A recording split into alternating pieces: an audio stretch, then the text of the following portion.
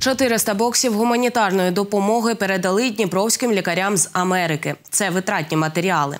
Іншими словами, предмети одноразового використання, такі як медичні простирадла, маски, халати, катетери, шприци й багато іншого. Їх отримали міські лікувальні заклади номери 2, 4, 6, 9, 12 та 16. Адже субвенції, яку виділяє держава, не вистачає на такі закупівлі.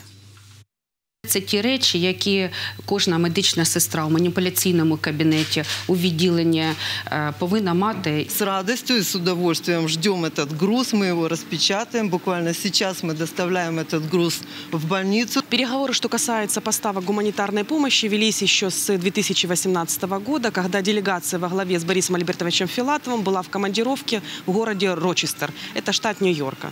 Переговоры велись с украинской диаспорой, с благотворительными организациями. И благодаря этим переговорам на сегодняшний день мы получили первый гуманитарный груз.